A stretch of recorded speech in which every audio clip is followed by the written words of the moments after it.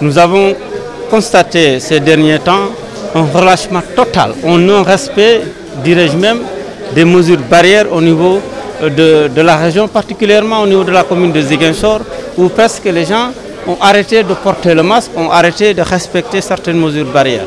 Ce qui est inadmissible.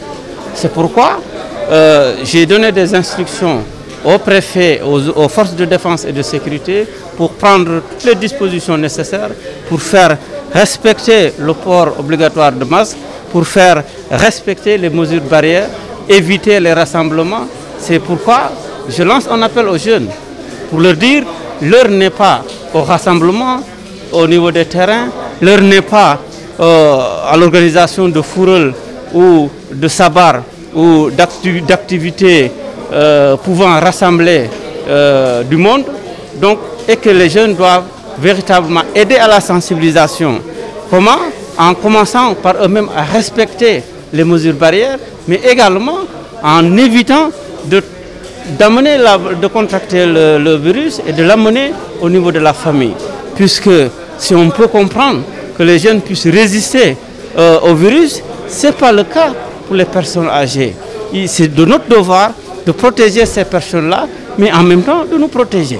Donc il faudra que les gens reviennent à la raison, continuent de respecter les mesures barrières et comprendre que le virus est là. Dans la région de Ziguinchor, tous les jours, parce que nous avons des cas de contamination. Donc ce n'est pas possible qu'on laisse les gens se, euh, se lancer dans le non-respect des mesures barrières. Donc un terme sera mis à ça. Nous prendrons les dispositions nécessaires pour véritablement éviter que la région de Ziguinchor soit quand même l'épicentre de la pandémie. Tu sais, les sanctions pénales sont prévues par les lois. Donc, si quelqu'un euh, commet une infraction euh, sanctionnée par la loi, forcément il y aura des sanctions pénales, puisque cette personne-là sera traduite en justice et le, les juges feront le nécessaire pour appliquer la sanction nécessaire.